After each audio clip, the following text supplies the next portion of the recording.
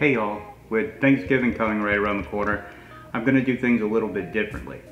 Normally, I would make a video a week, post them, and send them out and you guys could make things if you wanted to, but with the holidays coming up, I figure I'm gonna do a string of videos today, uh, one after the other, and maybe tomorrow if I give out.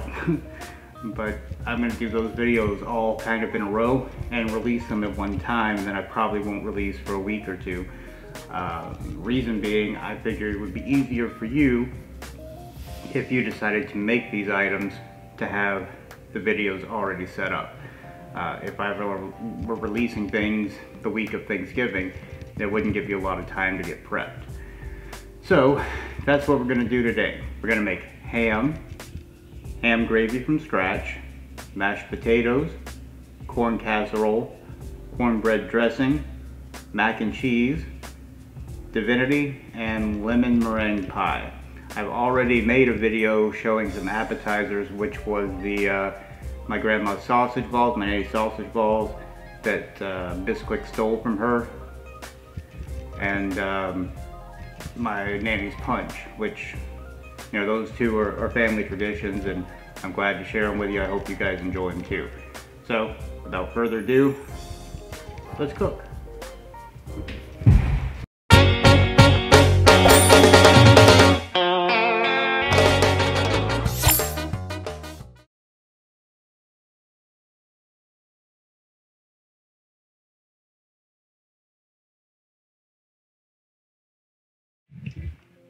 All right, so now we're gonna focus in on the macaroni and cheese. You're gonna need about half a pound of pasta. I prefer the shells, but if you like elbow, it'll work just fine. Uh, you're gonna need about three tablespoons of butter, uh, about two tablespoons of minced garlic, three eggs, 12 ounces evaporated milk, one half teaspoon of salt, quarter teaspoon of cayenne pepper, one and a half cups of sharp cheddar, one and a half cups of Gouda, and half a cup of Parmesan. So here's how we do that. We've got water on the stove coming up to a boil. We're gonna cook our pasta till it's pretty much done, uh, which, let's take a look at the box here.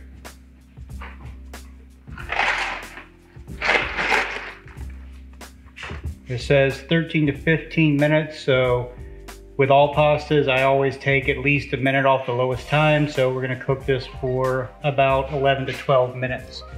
Uh, then we're gonna drain it. But until then, we're gonna go ahead and start assembling everything else. You're gonna need your three eggs in the bowl, whisked together.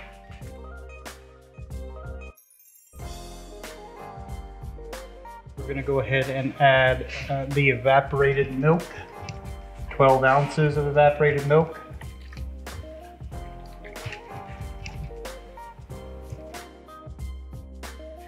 Uh, make sure that's thoroughly incorporated. We're gonna add the salt, cayenne pepper, the cheese, and the macaroni, or the macaroni when it's done, and the garlic. So let's go ahead and add our garlic in.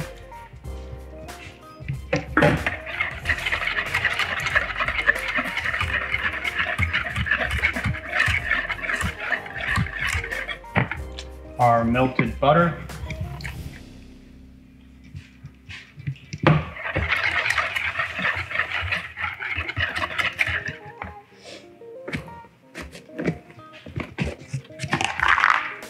Our salt, which is half a teaspoon.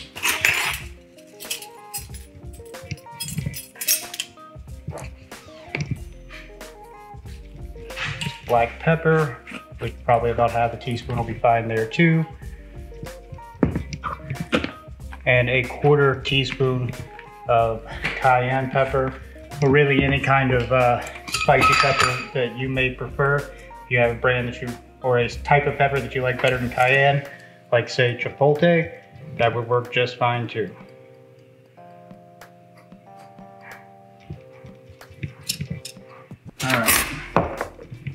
Now we got all that mixed. Let's go ahead and add in our cheese and get it set up.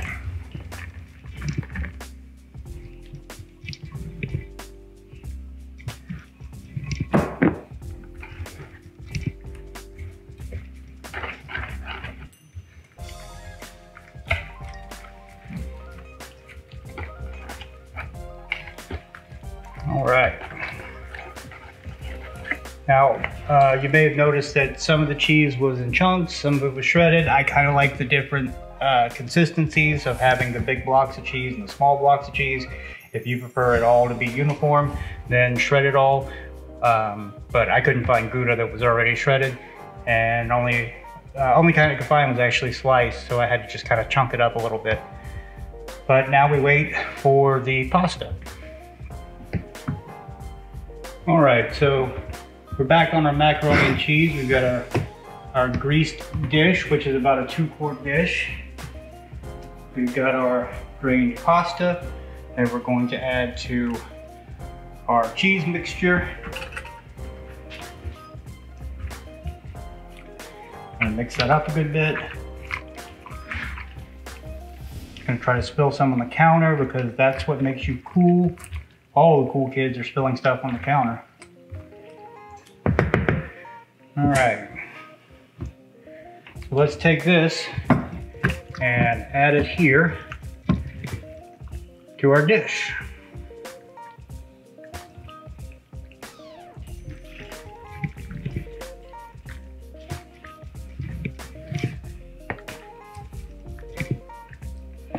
We're gonna cook this at 350 for about roughly 40 minutes and we're gonna check and make sure that everything's the way that we like it. Then we're gonna add some breadcrumbs to the top of it, toast it all for another 10 minutes or so, and we're ready to go. So let's throw this in the oven.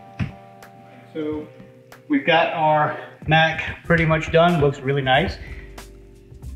But I can never leave well enough alone.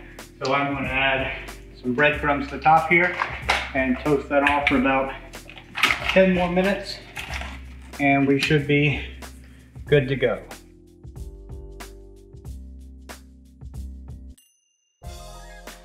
Okay, guys, so here's the final product.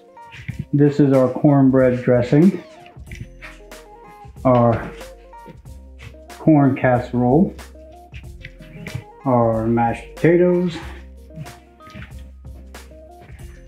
our mac and cheese, and our pineapple glazed smoked ham, and the gravy. I'm gonna put a plate together, let you see what it all looks like together, and then I'm gonna go die somewhere. All right, here's our final dish. We've got our glazed ham, mac and cheese, potatoes, dressing, corn casserole. I hope everybody has a good uh, holiday feast. And remember, celebrate the indigenous. Thanks for watching. And tomorrow, maybe, I'll work on desserts. Thanks, guys.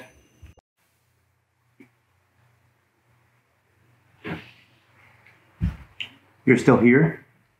Why? Look, I showed you how to make an entire Thanksgiving dinner. I don't know what more you want from me. Maybe next week or something, I'll, I'll make some dessert videos. But I think you've got enough out of me for this week. Well, folks, time to call it night. Do what you feel and keep both feet on the wheel. You don't have to go home, but you can't stay here. So till next time. I'm evil. You're not. Get the fuck out and take a plate with you. It's a lot of fucking food.